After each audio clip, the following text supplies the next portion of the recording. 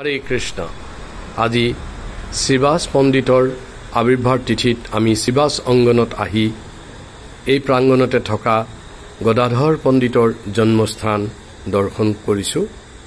আপোনালোকক দেখাব খুজিছোঁ গদাধৰ পণ্ডিতৰ জন্মস্থান।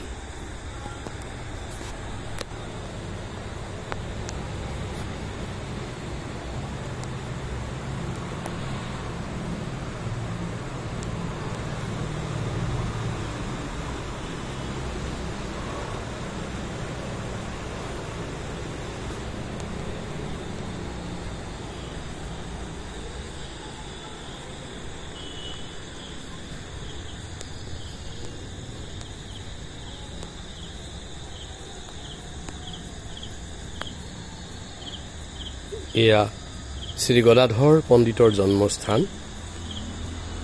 এটি সুন্দৰ মন্দিৰ য'ত গৌৰ গদাধৰৰ বিগ্ৰহ বিৰাজ কৰিছে। শিৱাস অংগনৰ প্ৰাংগণৰ ভিতৰত।